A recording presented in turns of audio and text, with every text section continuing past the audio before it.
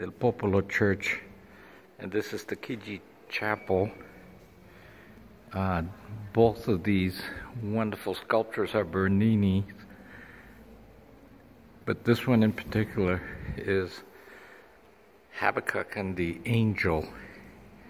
And this is where the Illuminati chose to do their first killing of the cardinal. So there's the Chigi Chapel, and uh, in relationship to the rest of the church, uh, this will give you an idea.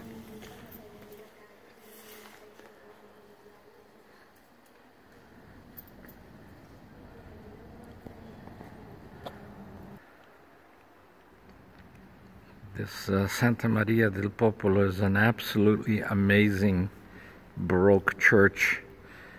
Uh, Rome seems to be filled of these.